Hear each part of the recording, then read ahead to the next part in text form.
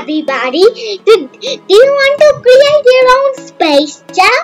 Then check out this cool space jam project on NASA.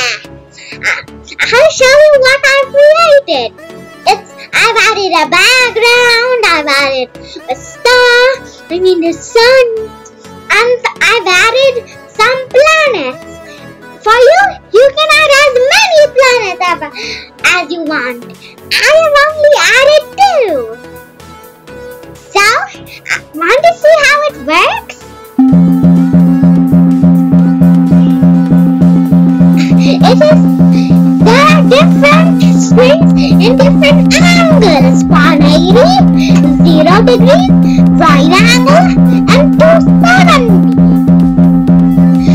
And when, when any planet it creates a note.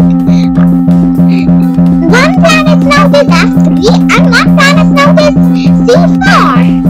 I'll change, let's, if you want to change the color, I'll change, let's change the color then.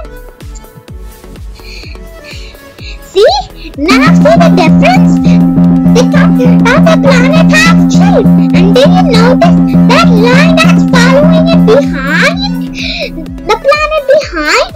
It shows how much time of the day has passed and how much rotation has the planet completed.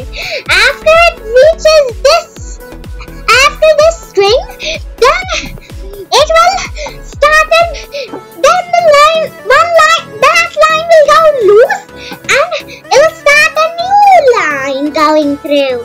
And hope you enjoy.